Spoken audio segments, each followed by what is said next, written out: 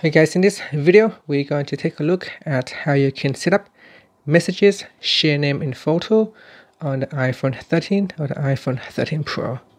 First, let's go back to your home screen by swiping up at the bottom of the screen. And on the home screen, tap on settings. In settings, go down and tap on messages.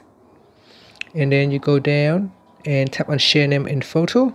So this will allow you to personalize your messages Choose your name and photo and who can see what you shared.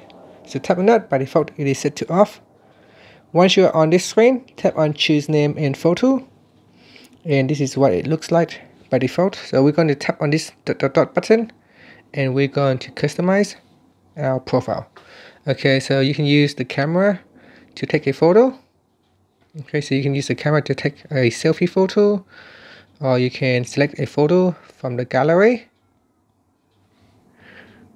okay you can also choose an emoji in here by tapping on that.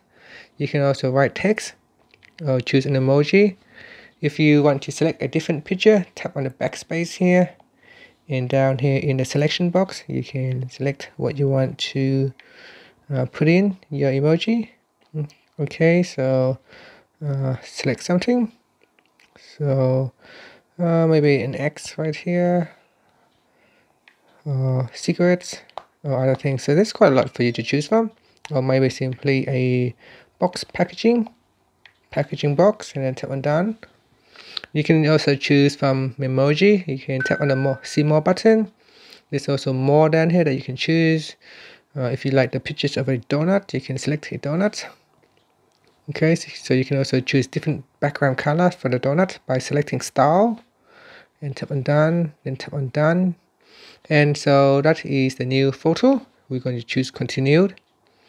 And so use this photo everywhere. Your apple id in my card in contacts will be updated with this photo. So i'm going to choose not now. So i just want to use it for my messaging app only not everywhere.